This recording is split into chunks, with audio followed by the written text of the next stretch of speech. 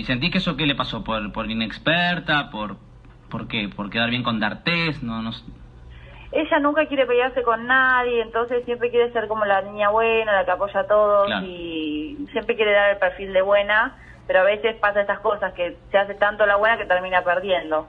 Bueno, el otro día Flor Viña estuvo en el programa de Mirta y bueno, eh, habló del tema de Juan D'Artés, que ahora está siendo su compañero en eh, la nueva tira llamada Simona de Canal 13 y bueno, lo estuvo defendiendo, eh, dijo que es muy buen compañero, muy respetuoso y demás, pero eh, parece que metió la pata porque después la destrozaron en las redes sociales.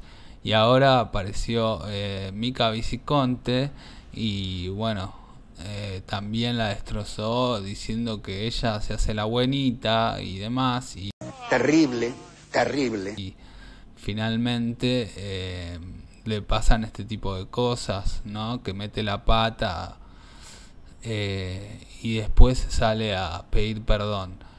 Pobre este, Flor Viña, que ella trata de, de ser muy buena o de hacerse la buena y después termina mal.